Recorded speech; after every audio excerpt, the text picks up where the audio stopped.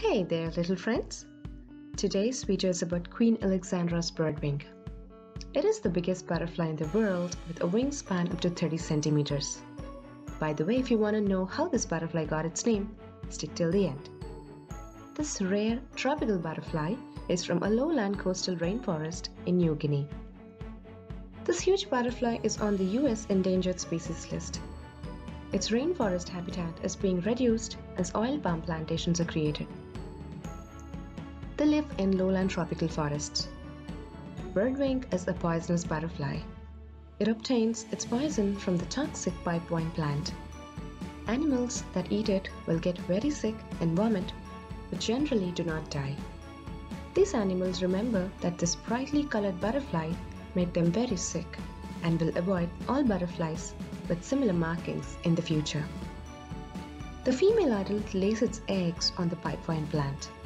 When the egg hatches, its males are easily available. The caterpillar molts many times as it grows.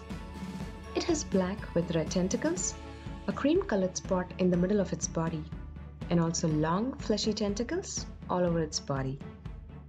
The female is larger and brown with cream spots and a cream colored body with a red tuft of fur on the thorax. The male is brown with blue and green markings and a bright yellow abdomen.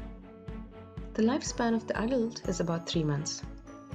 Butterflies can only sip liquid food using a tube like proboscis, which is a long, flexible tongue.